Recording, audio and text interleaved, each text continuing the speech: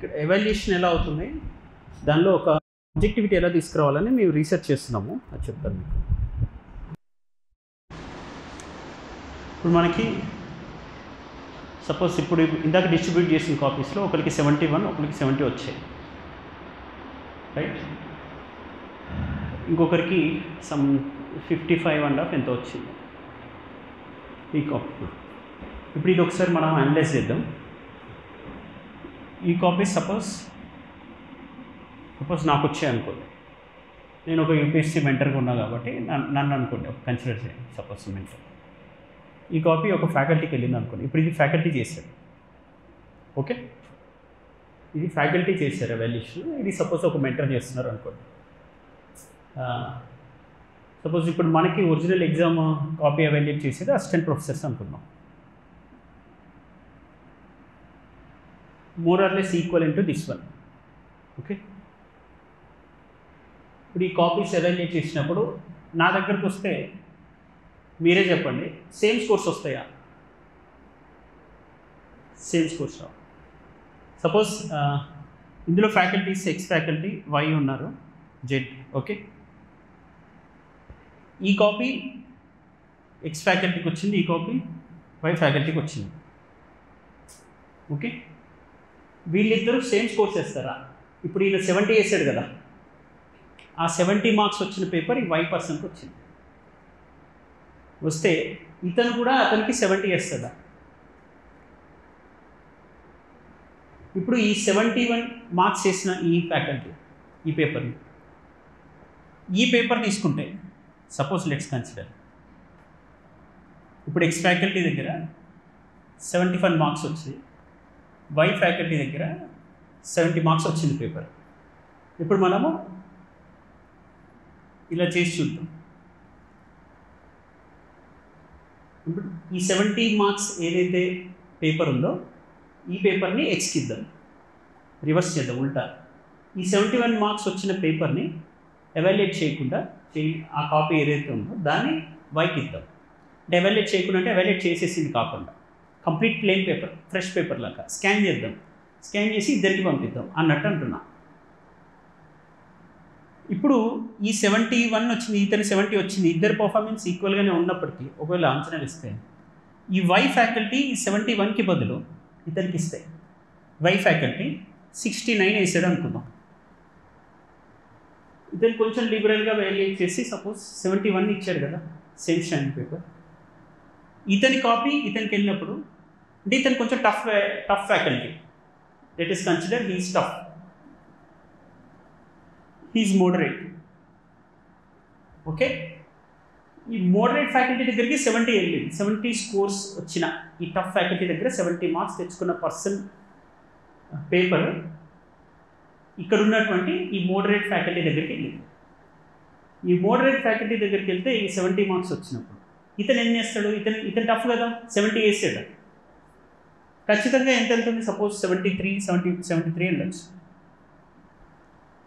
Okay seventy three వెళ్ళచ్చు అంటే ఇప్పుడు ఇక్కడ సెవెంటీ అనే మార్క్స్ స్కోరింగ్ అనేది ఒక టఫ్ ఎవాల్యుయేటర్ దగ్గర ఉన్నప్పుడు వస్తే ఒక మోడరేట్ పర్సన్ దగ్గరికి వెళ్ళినప్పుడు సెవెంటీ త్రీ అయ్యి ఇంకా ఈ ఇంకా లిబరల్గా మార్క్స్ వేసే పర్సన్ దగ్గరికి వెళ్తే కొంచెం లిబరల్గా కొంచెం కన్సర్న్తో ప్రతి చిన్నదానికి ఇంప్రెస్ అయ్యే పర్సన్ ఉన్నాడు అనుకోండి. అతను సెవెంటీ సిక్స్ నుంచి ఎయిటీకి కూడా వెళ్ళిపోతాడు. అతను కూడా తెలియదు మార్క్స్ వేసేటప్పుడు టోటల్ ఎయిటీ అవుతాయని.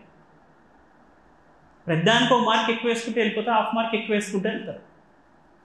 ఈ సబ్జెక్టివిటీని మనం ఎక్కడ కట్టేల్ చేయడానికి స్కోప్ ఉంటుంది? మ్యాక్సిమం కొన్ని బేసిక్ పారామీటర్స్ దగ్గర అందరూ కామన్గా ఫాలో అయ్యే ఉంటాయి. ఇప్పుడు కీ పే కీ పేపర్ ఇద్దాం మనం. ఈ ముగ్గురికి కీ పేపర్ ఇచ్చాం. కీ పేపర్లో కొన్ని బేసిక్ పారామీటర్స్ ఉన్నాయి. క్వశ్చన్కి తగ్గట్టుగా ఈ పాయింట్స్ ఉన్నాయా లేదా? అండ్ బేసిక్ ఆర్డర్ ఇదే ఉందా లేదా? ఆ ప్రిఫరెన్స్ అనేది ఇచ్చినప్పుడు ఈ ఆర్డర్లోనే ఉందా లేదా? అనేది తీసుకున్నప్పుడు అందరూ ఆ కామన్ పారామీటర్స్ని బట్టి అవి ఉన్నాయా లేదా అన్న దాన్ని బట్టి జీరో వేయాలా? వన్ వేయాలా? టూ వేయాలా? త్రీ వేయాలా అని వరకు వెళ్తారు. మిగతా మా పారామీటర్స్ ఇంకా లాస్ట్లో అంటే వీళ్ళందరి బెంచ్ మార్క్ ఎవరు వచ్చింది దిద్దినా ఇతనికి ఎన్ని మార్క్స్ వస్తున్నాయి? సెవెంటీస్ దగ్గర ఉన్నాడు టఫ్ పర్సన్ వచ్చిన. ఈజీ మోడరేట్ అనేది అదృష్టం మీద ఆధారపడింది. అంటే నైంటీ ఫైవ్ పర్సెంట్ ఎఫర్ట్ మీ చేతిలో ఉంది. ఒక టెస్టిమోనియల్గా చూద్దాం. ఒక ఒరిజినల్ ఎగ్జామ్ ఒరిజినల్గా జరిగిందే మనం మాట్లాడుకుందాం. ఏపీఎస్సి పేపర్ ఉంది. కరోనా టైంలో ఎవాల్యుయేట్ చేశారు డిజిటల్ ఎవాల్యుయేషన్ స్కాన్ చేయించి. అప్పుడు ఒక సెలెక్ట్ అయిన క్యాండిడేట్స్ ఉన్నారు. ఫస్ట్ సెలెక్షన్ క్యాండిడేట్ ఇది ఫస్ట్ సెలెక్షన్లో ఉన్న వాళ్ళలో ఒక హండ్రెడ్ మెంబర్స్లో ఎవరైతే ఉన్నారో సెకండ్ సెలెక్షన్కి వచ్చేసరికి అందులో సెవెంటీ ఫైవ్ పర్సెంట్ కొత్త వాళ్ళు వచ్చారు. Seventy five percent new people వచ్చారు. అంటే ఫస్ట్ టైము డిజిటల్ ఎవాల్యుయేషన్లో సెలెక్ట్ అయిన వాళ్ళలో ఆ నేమ్స్ సెకండ్ టైం ఎవాల్యుయేషన్లో లేవు. ఆ ట్వంటీ ఫైవ్ పర్సెంట్ క్యాండిడేట్స్ ఎవరైతే ఉన్నారో ఈ రెండింటి నుంచి ఫస్ట్ ఎవాల్యుయేషన్లో ఉన్నారు సెకండ్ ఎవాల్యుయేషన్ ఉన్నారు ఇంకొక థర్డ్ ఎవాల్యుయేషన్లో ఉంటారు. కానీ ఆ ట్వంటీ ఫైవ్ పర్సెంట్ క్యాండిడేట్స్ ఎవరైతే ఉన్నారో first evaluation second evaluation third evaluation ఇట్లా ఎప్పుడు చేసినా కానీ వాళ్ళు ఇంటర్వ్యూకి సెలెక్ట్ అయ్యే లిస్ట్లో ఉంటున్నారు కదా ఈ ట్వంటీ ఫైవ్ పర్సెంట్ వీళ్ళు ఫస్ట్ ఎవాల్యుయేషన్లో ఒకళ్ళు టాప్ వన్ ఉండొచ్చు సెకండ్ ఎవాల్యుయేషన్కి వచ్చేసరికి అదే టాప్ వన్ పర్సన్ ఏమైపోతాడు? టాప్ టూ హండ్రెడ్లో ఉండొచ్చు. అంటే టూ హండ్రెడ్ పోస్ట్ ఉన్నాయి కాబట్టి. అంటే టాప్ వన్ నుంచి టూ హండ్రెడ్ రేషియోలో తిరుగుతూ ఉంటారు వీళ్ళు. ఆ తిరిగేది ఎక్కడ ఉంటుంది? ఈ ఫైవ్ పర్సెంట్ సబ్జెక్టివిటీ ఉంది చూసారా? ఇదిగో ఈ ఎక్స్ ఫ్యాకల్టీ దగ్గరికి వెళ్తేనేమో ఏమైపోయాడు? సెవెంటీ ఫైవ్ ఎయిటీస్కి ఈ వై ఫ్యాకల్టీ దగ్గరకు వచ్చినప్పుడు సిక్స్టీ నైన్ సిక్స్టీ సెవెన్స్ దగ్గర. అంటే ఈ ట్వంటీ ఫైవ్ పర్సెంట్ క్యాండిడేట్స్ ఫస్టా సెకండా థర్డా అనే మార్కింగ్ అనేది ఎక్కడ డిసైడ్ అవుతుంది? ఆ ఫైవ్ పర్సెంట్ సబ్జెక్టివిటీలో ర్యాంక్ అనేది ఇంకెక్కడ వస్తుంది అనేది డిసైడ్ అవుతుంది. ఓకే? అంటే మనం ఫస్ట్ స్టేజ్ ఏంటంటే ఎవరు వచ్చి ఎవాల్యుయేట్ చేసినా ఈ బెంచ్ మార్క్ దగ్గర ఉండాలి. ఎవాల్యుయేట్ చేసి. ఈ బెంచ్ మార్క్ దగ్గర ఉన్న తర్వాత ఇది దైవాదైన మోటార్ సర్వీస్ ఇక. దాన్ని బట్టి. అంటే మనం ఒక స్టాండర్డ్కి వచ్చేసేయాలి. ఈ ట్వంటీ ఫైవ్ పర్సెంట్ లిస్ట్లోకి వెళ్ళిపోవాలి. ఆ బ్యాలెన్స్ ఫైవ్ పర్సెంట్ సబ్జెక్టివిటీని బేస్ చేసుకొని మనం top ten top hundred decide అవుతుంది అది మన ఇన్ఎవిటబుల్. ఇన్ఎవిటబుల్ దాన్ని మనం ఎరాడికేట్ చేయడం ఆ సబ్జెక్టివిటీని తీసేయలేం. ఇప్పుడు మనం ఏం చేద్దామంటే నెక్స్ట్ ఇప్పుడు మీకు అంటున్నా కదా సూపర్ థర్టీ లాంటిది. దానిలో ఇంగ్లీష్ మీడియం వాళ్ళకి ఒక మనము ఏ ఏ సిస్టంతో ఏ ఎప్పుడు ఎవాల్యుయేట్ చేసినా ఒకటే మార్క్ చేస్తుంది. దానికి పారామీటర్స్ ఇస్తాం ఇన్పుట్ ఇస్తాం. ఆ ఇన్పుట్ తోటి అది ఎవాల్యుయేట్ చేసింది. ఎప్పుడు ఎవాల్యుయేట్ చేసినా ఒకటే మార్కింగ్ ఇస్తుంది. ఆ మార్క్ దగ్గర ఎప్పుడైతే ఉంటారో ఆ పైన plus or minus five subjectivity ఉంటుంది కదా ఓకే అంటే ఏ ఎప్పుడు మీ మీ పేపర్కి సెవెంటీ మార్క్స్ ఇచ్చింది అనుకోండి ప్రతి ఏ పేపర్ తీసుకున్నా సెవెంటీ మార్క్స్ ఇస్తుందంటే ప్లస్ ఆర్ మైనస్ ఫైవ్ థ్రెషోల్డ్లో మీరు ఉంటారు. సబ్జెక్టివిటీ ఈజ్ ఇట్ ఇట్ అంటే మనం ప్యూర్ ఆబ్జెక్ట్ అందరి కాపీస్ని ఒకటే మైండ్ సెట్తో ఒకటే ఓరియంటేషన్లో ఒకటే ఇన్పుట్తో ఒకటే పారామీటర్తో అదే మోడల్లో అన్నిసార్లు ఎవాల్యుయేట్ చేసినా అదే స్కోరింగ్ ప్యాటర్న్ వచ్చేటట్టుగా ఒక సిస్టమ్ అనేది మీకు ఎవాల్యుయేట్ చేసి ఇచ్చిన తర్వాత ఆ ఎవాల్యుయేషన్కి ప్లస్ ఆర్ మైనస్ ఫైవ్ తోటి సబ్జెక్టివిటీ ఉంటుంది అని డిసైడ్ అయితే మన ర్యాంక్ ర్యాంక్ అనేది కాదు. ఫస్ట్ అయితే మనం హండ్రెడ్కి వెళ్ళిపోతాం. ఆ హండ్రెడ్లో ఫస్ట్ ఎవరు? హండ్రెడ్ ఎవరు అనే దగ్గర డెసిషన్ అనేది ఎప్పుడు సబ్జెక్టివ్గా మారుతూ ఉంటుంది. రైట్ ఇది మన ఎవాల్యుయేషన్ పారామీటర్ అనేది అబ్జర్వ్ చేసింది. మొత్తం రీసెర్చ్ చేస్తే ఇప్పుడు ఇందాక ఒక సెవెంటీ సెవెంటీ వన్ వచ్చిన వాళ్ళని తీసుకొని వెళ్ళి మనం ఇంకొకరికి పంపించాం అనుకోండి. ఇంకో సమ్ కాపీని ఇంకెవరికో ఇచ్చాం. ఆ కాపీ ఇప్పుడు అశోక్ నగర్లో ఇస్తే ఇప్పుడు ఇది ఇక్కడ శంషాబాద్లో ఉన్న ఫ్యాకల్టీ చేసింది. ఖచ్చితంగా దానికి ఫోర్ ఫైవ్ మార్క్స్ రావచ్చు. ఎక్స్ట్రా రావచ్చు. ప్రతి ఒక్కటి ఇప్పుడు ఫార్టీ సెవెన్ అండ్ హాఫ్ వచ్చిన పర్సన్కి డెఫినెట్లీ ఎంత రావచ్చు? ఇంకో త్రీ ఫోర్ మార్క్స్ ఎక్కువ రావచ్చు. అనేది నాకు కనిపిస్తుంది కొన్నిటికైతే చాలా ఎక్కువ మార్కులు వేస్తాయి ఆన్లైన్ కొన్ని ఎవాల్యుయేట్ చేసినప్పుడు స్టార్టింగ్లో కొన్ని ఎక్కువ మార్క్స్ వచ్చాయి. వాటిని మళ్ళీ రీఎవాల్యుయేట్ చేస్తే మార్క్స్ తగ్గుతున్నాయి. ఈ సబ్జెక్టివిటీని ఎరైడింగ్ ఎప్పటికీ మనం రిమూవ్ చేయలేము ఇక దీన్ని. సో నేను మీకు మీ అందరి నుంచి ఎక్స్పెక్ట్ చేసే ఆన్సర్ ఏంటంటే ఒక కాపీ ఒకసారి ఒకరికి పంపించిన తర్వాత మీ కాపీ మళ్ళీ సేమ్ పర్సన్కి వెళ్ళదు మీరు చూసారు అబ్జర్వ్ చేశారా? మీ కాపీ ఇప్పుడు ఎవాల్యుయేషన్కి వెళ్తున్నప్పుడు డే వన్ నుంచి టెస్ట్ వన్ నుంచి మీ స్కోర్స్లో ర్యాంక్స్లో మార్క్స్లో చాలా వేరియేషన్ కనిపిస్తుంది. ప్రతి ఏ ఒక్క ఎగ్జామ్కి ఒకళ్ళు టాపర్ ఉండట్ల. ప్రతి exam to exam toppers list మారుతుంది. కానీ మీ అందరి స్కోర్ ప్యాటర్న్స్ చూస్తే సిమిలర్గా ఎక్కడ ఉంటున్నారు సిక్స్టీ ఫైవ్స్ నుంచి సెవెంటీ ఫైవ్స్ మధ్యలో ఉంటున్నారు అందరు. మోస్ట్లీ లాస్ట్ టైం మీకు ఫస్ట్ టెస్ట్లో స్టార్టింగ్ టెస్ట్లో టాపర్ వచ్చిన పర్సన్ పేపర్స్ ప్రతి ఒక్కటి చూసుకుంటూ వెళ్తే రిజల్ట్స్ లిస్ట్ చూస్తూ వెళ్తే వాళ్ళు ఖచ్చితంగా sixty nine sixty seven seventy seventy one ఈ థ్రెషోల్డ్లోనే కనిపిస్తూ ఉంటారు. Sixty five sixty nine sixty seven థ్రెషోల్డ్లో ఉంటారు. లాస్ట్ టైం టాపర్ని ఇప్పుడు జాగ్రఫీ ఎగ్జామ్ టాపర్ని క్వాలిటీ ఎగ్జామ్ టాపర్తో కంపేర్ చేయండి. సరే జాగ్రఫీ వేరు క్వాలిటీ వేరు అని అనుకుంటున్నారేమో suppose Indian history TS history compare చేయండి. ఇప్పుడు మనిషికి రీకాలింగ్ కెపాసిటీ మోరల్లెస్ సిమిలర్గా అదే ఉంటుంది. సార్ రీజనల్ టాపిక్స్ నాకు చాలా వీక్ అనుకుందాం పోనీ. అలానే ఆలోచించుకొని తెలంగాణ మూమెంటే చూడండి కొన్ని Telangana movement section one two three అన్నిటికీ ఓరియంటేషన్ ఒకటే కదా. తెలంగాణ మూమెంట్లో పెద్దగా వేరియేషన్ లేదు కదా. తెలంగాణ మూమెంట్ వన్ ఫిఫ్టీ మార్క్స్లో త్రీ సెక్షనల్ టెస్ట్ రాశారు. త్రీ సెక్షనల్ టెస్ట్ రాసిన తర్వాత ఫుల్ అయితే గ్రాండ్ టెస్ట్ రాశారు. సో త్రీ సెక్షనల్ టెస్ట్లో న్యాచురల్గా ఫస్ట్ ర్యాంక్ ఎవరైతే ఉన్నారో ఫుల్ లెంత్ గ్రాండ్ టెస్ట్లో వాళ్ళే ఉండాలి రూల్ ప్రకారం? మీరు త్రీ సెక్షనల్ టెస్ట్లో ఫస్ట్ ర్యాంక్ వచ్చిన వ్యక్తికి ఫుల్ లెంత్ టెస్ట్లో కూడా ఫస్ట్ ర్యాంక్ ఉండాలి కదా? పోనీ ఫస్ట్ సెక్షనల్ టెస్ట్లో ఫస్ట్ ర్యాంక్ వచ్చింది సెకండ్ టెస్ట్ సెక్షనల్ టెస్ట్లో టాప్ ఫైవ్లో ఉన్నాడు థర్డ్ సెక్షనల్ టెస్ట్లో టాప్ టెన్లో ఉన్నాడు. మరి ఫుల్ లెంత్ గ్రాండ్ టెస్ట్కి వచ్చేసరికి మినిమం ఎక్స్పెక్టేషన్ ఏముంటుంది మనకి? టాప్ ఫైవ్లో ఉంటుంది కదా? ఆన్ యావరేజ్ యావరేజ్ స్కేల్ తీస్తే టాప్ ఫైవ్లో ఉండాలి కదా? టాప్ ఫైవ్లో లేడు అనుకోండి. అదేలా మిస్ అవుతుంది? సో ఆ మిస్ అవ్వడం అనే ఆస్పెక్ట్ ఎక్కడైతే ఉందో నేను చెప్పినట్టు ఈ ట్వంటీ ఫైవ్ పర్సెంట్ క్యాండిడేట్స్ ఎవరైతే ఫ్రీక్వెంట్గా లిస్ట్లో ఉంటున్నారో కానీ వాళ్ళలో ర్యాంక్స్ మారుతూ ఉన్నాయి. టాపర్స్ మారుతూ ఉన్నారు. ఫస్ట్ ఏమో ఆ ట్వంటీ ఫైవ్ పర్సెంట్లో ఉన్న వాళ్ళలో ఎవరైతే టాపర్ ఉన్నారో ఫస్ట్ ఎవాల్యుయేషన్లో సెకండ్ ఎవాల్యుయేషన్ సేమ్ కాపీ వేరే పర్సన్ దిద్దడం వల్ల అతను టాపర్ లిస్ట్లో లేడు. జస్ట్ ర్యాంక్ లిస్ట్లో ఉన్నాడు.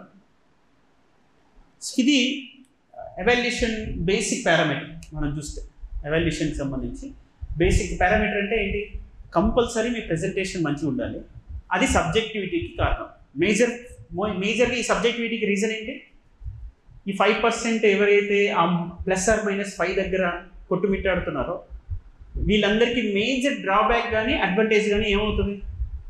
ప్రజెంటేషన్ ఎవరైతే బెస్ట్ ప్రజెంటేషన్ స్కిల్స్ డెవలప్ చేసుకున్నారో వాళ్ళకి డెఫినెట్లీ ఎక్స్ట్రా ఎడ్జ్ ఉంటుంది. హాఫ్ మార్క్ ఎడ్జ్ ఉంటుంది.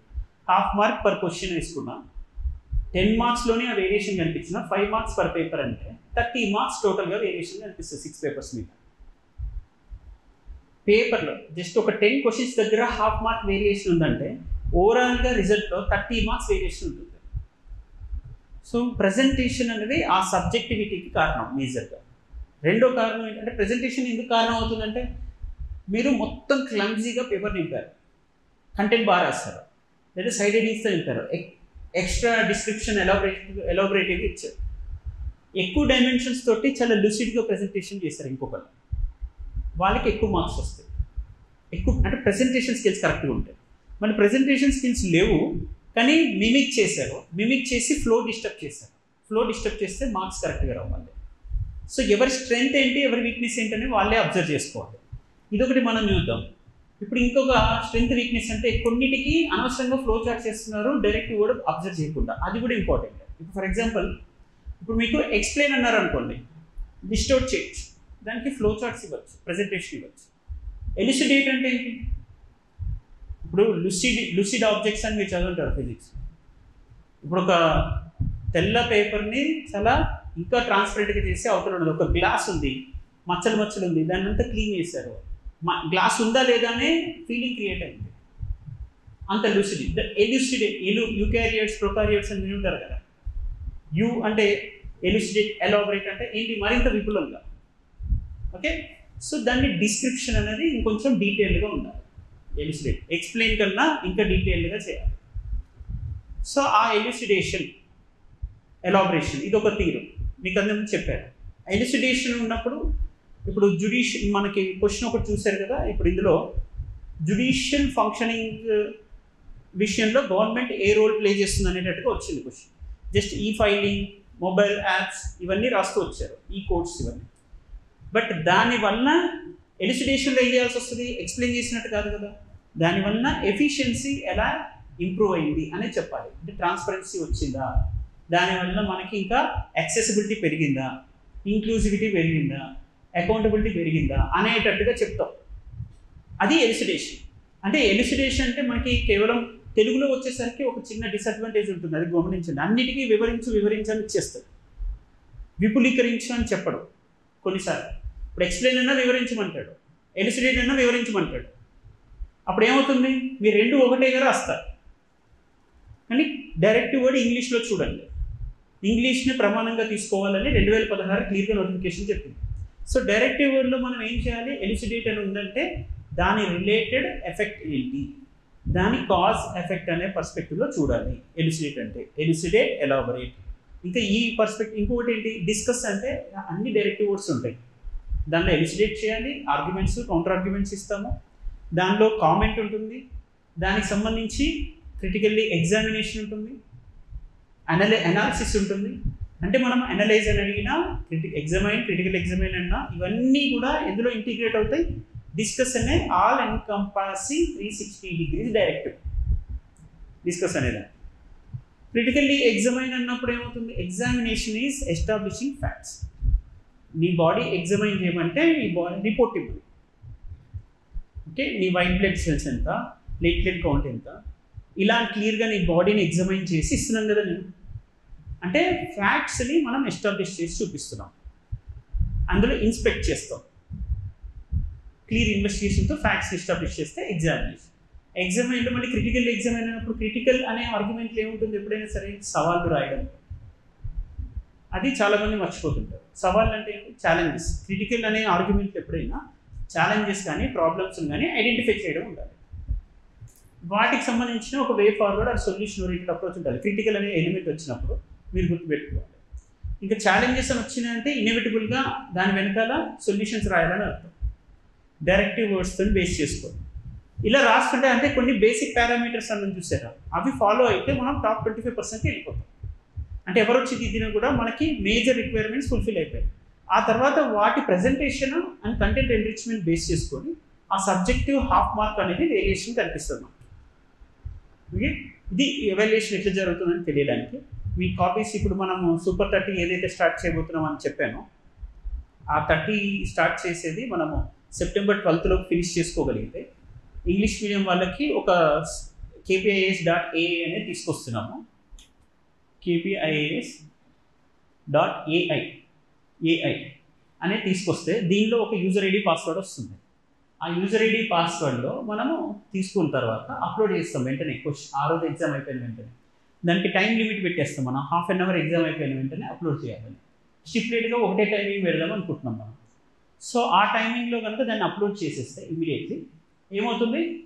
కేపీసీ దానికి సంబంధించిన ఎవాల్యుయేషన్ ఆ రోజు నైట్ లేకపోతే ఇమీడియట్లీ మార్నింగ్ వచ్చేస్తుంది కాపీ వచ్చి డీటెయిల్ డిస్క్రిప్షన్తో ఎవాల్యుయేషన్ అనేది అక్కడ వస్తుంది మనకి. ముందే క్వశ్చన్ పేపర్ ఇన్పుట్స్ ఇస్తాం. అండ్ టూ థౌజండ్ సిక్స్టీన్ మోడల్లో ఏ ఏముంది two thousand sixteen rule book ఉంది. రూల్ బుక్ ఉంది. ఇప్పటివరకు ఉస్మానియా కండక్ట్ చేస్తున్న ఎగ్జామ్స్ అన్నింటిలో ఏముంది? రూల్ బుక్ ఉంది. ఓకే అది గ్రాడ్యుయేషన్ అయినా ఇంజనీరింగ్ ఎగ్జామ్స్ అయినా లా ఎగ్జామ్స్ తీసుకున్నా అన్నింటిలో రూల్ బుక్ ఇస్తున్నారు. నెక్స్ట్ ఏపీఎస్సి ఇప్పుడు త్రీ నోటిఫికేషన్స్ అని అన్నిట్లో ఏపీఎస్సిలో రూల్ బుక్కే ఇచ్చారు.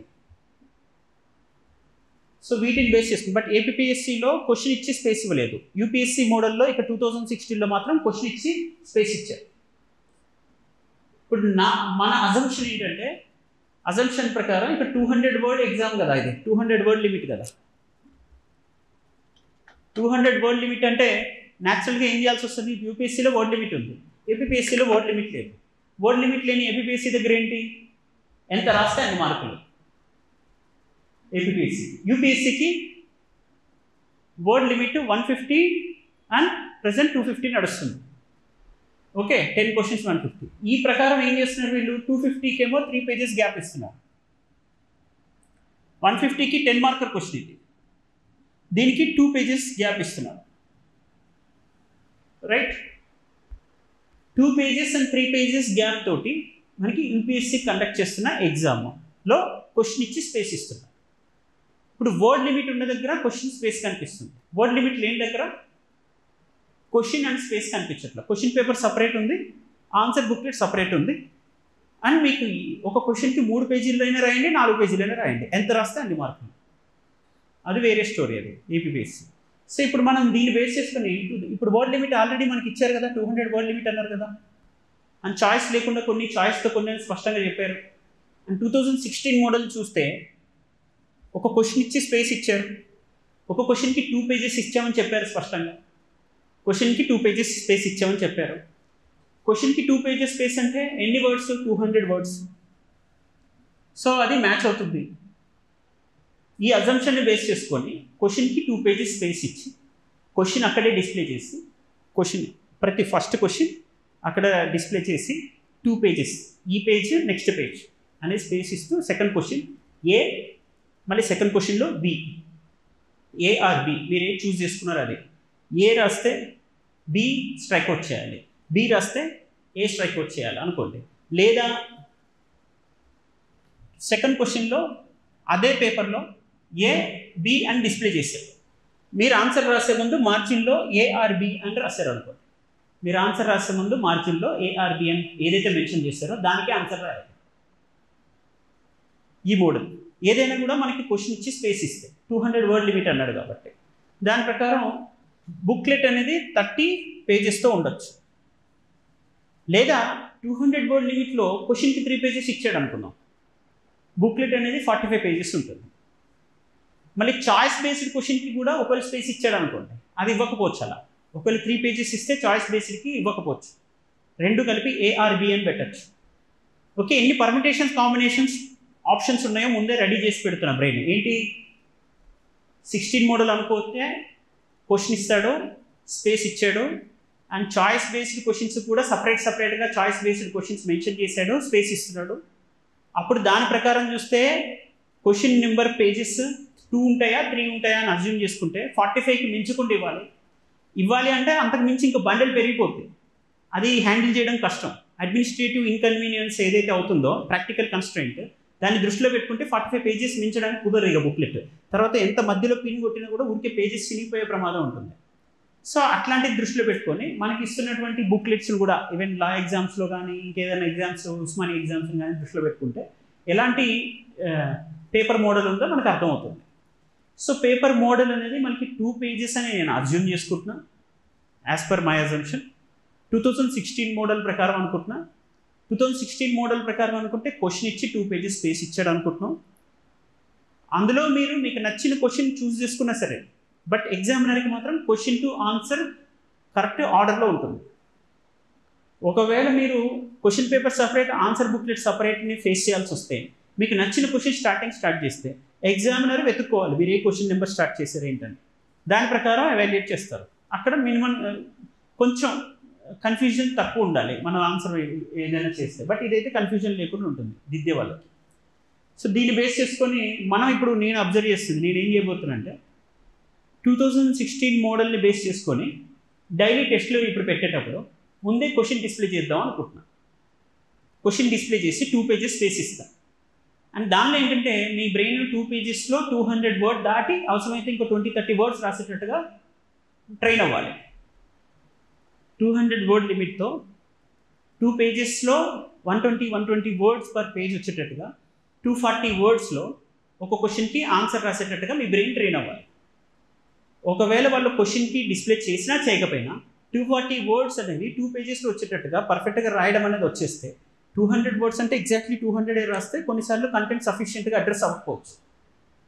ఓకే ఇన్హెరెంట్లీ కొన్ని చోట్ల ఛాలెంజెస్ అని మాత్రమే క్వశ్చన్లు ఇస్తే వే ఫార్వర్డ్ రాయాల్సి వచ్చినప్పుడు టూ త్రీ పాయింట్స్ ఎక్స్ట్రా రాయాలనిపిస్తుంది. రాయాల్సిన పరిస్థితి కూడా ఉంటుంది. దానివల్ల ఎక్స్ట్రా మార్క్స్ వస్తాయి. అలాంటప్పుడు మనం ఒక ట్వంటీ థర్టీ వర్డ్స్ ఎక్కువ రాయొచ్చు. ట్వంటీ థర్టీ వర్డ్స్ ఎక్కువ రాసినంత మాత్రం మార్క్స్ కట్ చేయాలి. ఓకే మరీ ఎక్కువ రాస్తేనే కట్ చేస్తారు. అండ్ చాలా క్లియర్గా స్టిపులేటెడ్ వర్డ్ లిమిట్ ఇచ్చేసిన తర్వాత త్రీ పేజెస్ ఇవ్వకపోవచ్చు అని నా అబ్జర్వ్ బేసిక్ అసెస్మెంట్ ఓకే ఒక పేజ్లో హండ్రెడ్ వర్డ్స్ ఈజీగా ఉంటాయి. ఎంత ఎంత దొడ్డు దొడ్డు అక్షరాలు రాసినా కూడా ఒక పేజీకి హండ్రెడ్ వర్డ్స్ వస్తాయి. పైగా రూల్ బుక్ ఇస్తే. రూల్ బుక్లో మినిమం ఒక ఇది ఒక లైన్కి ఫైవ్ వర్డ్స్ వేసుకున్నా.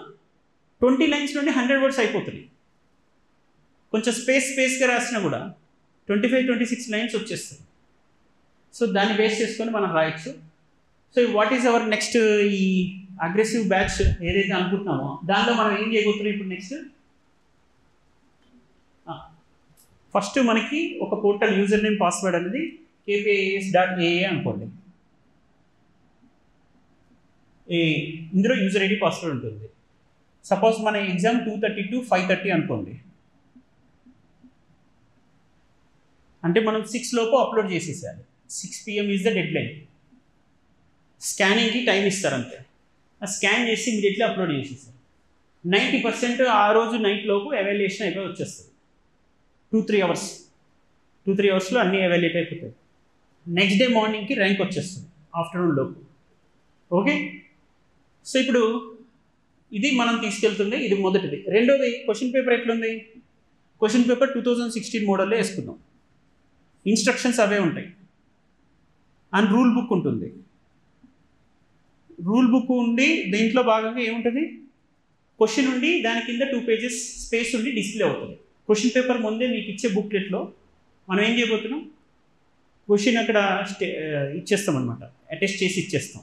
లేదా క్వశ్చన్ ఆల్రెడీ ప్రింట్ చేసిన బుక్లెట్ని మళ్ళీ ప్రింట్ చేస్తాం. కొత్త బుక్లెట్స్ ఇవ్వచ్చు. ఓకే దాన్ని బట్టి మనం రాయండి మీరు రాయాలి. ఓకే ఈ టూ థౌజండ్ సిక్స్టీన్ దీనిలో ఎవరైతే రాస్తున్నారో? రెగ్యులర్గా రాస్తున్నారో? దీనికి కొన్ని కండిషన్స్ ఉన్నాయి. ఈ బ్యాచ్లోకి వచ్చే వాళ్ళకి. కండిషన్స్ ఏంటంటే టూ ఫిఫ్టీన్కి ఎగ్జామ్ హాల్లో ఉండాలి. టూ సిక్స్టీన్కి ఉంటే మీరు ఆ ఎగ్జామ్ రాయినట్టే కన్సిడర్ చేస్తాం. ఆ ఎగ్జామ్ ఇంకెప్పుడు? అది రాయినట్టే. ఇంకొక పాయింట్ ఒక ఎగ్జామ్ కూడా ఆప్షన్ ఆబ్సెంట్ అవ్వద్దు. నో ఆబ్సెంట్ అండ్ టూ ఫిఫ్టీన్కి ఎగ్జామ్ హాల్లో ఉండాలి కంపల్సరీ. టూ సిక్స్టీన్కి వచ్చారంటే ఎగ్జామ్ని మీరు రాయినట్టుగానే భావిస్తాం. కాబట్టి ఆబ్సెంట్ అయినట్టుగా మీరు ఎప్పుడైతే వస్తారో ఆబ్సెంట్ అయినట్టుగా ఇంకా తర్వాత ఎగ్జామ్స్ మీరు రాయాల్సిన అవసరం కూడా ఉండదు. మీరు హ్యాపీగా. సో డిస్ అడ్వాంటేజ్ మీకు ఉంటుంది. ఓకే సో ఇప్పుడు మీరు ఏం చేయొచ్చు? ఒక్క ఎగ్జామ్ కూడా ఆబ్సెంట్ కాకుండా టూ ఫిఫ్టీన్ టు మీరు కరెక్ట్గా ఆ టైం సిక్స్ లోపు ఆ ఎగ్జామ్ హాల్లోనే కూర్చొని అది ఫినిష్ చేసుకొని బయటకు వచ్చేయచ్చు. ఓకే? సో లేదు అంటే అసలు మీకు ఎగ్జామ్స్ రాయాల్సిన అవసరం లేని ఆప్షన్ కూడా ఉంది. ఓకే? ఇది ఫాలో అవ్వద్దు అనుకున్న వాళ్ళు ఎవరైనా సరే మీరు యాజ్ యూజువల్ మీ రొటీన్ లైఫ్లో మీరు మీకు నచ్చినప్పుడు చదువుకోవచ్చు మీకు నచ్చినప్పుడు రాసుకోవచ్చు మీకు నచ్చినప్పుడు వెళ్ళచ్చు. ఓకే? మళ్ళీ ఇది ఫాలో అవుదామని మీకు నచ్చినప్పుడు మధ్య మధ్యలో వచ్చి రాస్తుంటే కుదరదు. దీనికి ముందే రిజిస్టర్ చేసుకున్న వాళ్ళు ఎన్రోల్ చేసుకున్న వాళ్ళు చాలా క్లియర్గా ఉండాలి. ఏంటంటే నేను రోజు రాస్తా. నిమిషం కూడా లేట్ అవ్వకుండా రాస్తా. అనే వాళ్ళు మాత్రమే దీనికి ఎన్రోల్ చేసుకోవాలి. ఇది సీరియస్గా రన్ చేస్తా. సిక్స్ లోపు అప్లోడ్ చేస్తా. ఫైవ్ థర్టీకి పేపర్ ఇచ్చేస్తా. రాయడం ఆపేస్తా. ఆపేసి సిక్స్ లోపు అప్లోడ్ చేస్తాము అనుకున్న వాళ్ళు మాత్రమే దీనిలో ఉంటారు. ఓకే సెప్టెంబర్ ట్వెల్త్ లోపు సిలబస్ ఫినిష్ చేసుకుంటాను. ఇందులో మీకు ఒరిజినల్ ఎగ్జామ్ ఎలా అయితే ఉంటుందో అదే మోడల్లో పెడతాం. లిబర్టీ అనేది మీరు తీసుకుంటా అంటే అది మీ ఇండిపెండెంట్ డెసిషన్ అండి. Independent choice okay? వీళ్ళకి మాత్రం హైయెస్ట్ ఫోకస్డ్ అప్రోచ్ ఉంటుంది. మిగతా వాళ్ళకి టైంని బట్టి కంఫర్ట్ని బట్టి వాళ్ళకి ఎవాల్యుయేట్ అవుతుంటుంది పేపర్ వస్తుంటుంది. మీరు జనరల్గా ఆ పాత షెడ్యూల్ ప్రకారం మీరు రాసుకుంటే వెళ్ళచ్చు. Right this is what our orientation next మనం స్టార్ట్ చేయబోయే ఈ సూపర్ థర్టీకి ముందు మీరంతా సిలబస్ ఫినిష్ చేస్తే రెడీగా పెట్టుకోండి. టూ పేజెస్ కన్స్టెంట్ పెట్టుకోండి. డైలీ అదే మోడల్లో ప్రాక్టీస్ చేసి పెట్టుకోండి. టూ థౌజండ్ సిక్స్టీన్ ప్యాటర్న్ని మనం ఫాలో అవుదాం. ఇంగ్లీషే ప్రామాణికంగా తీసుకోండి. డైరెక్టివ్ వర్డ్ ఇంగ్లీష్నే చదవండి. Telugu చదవకండి. Right all the best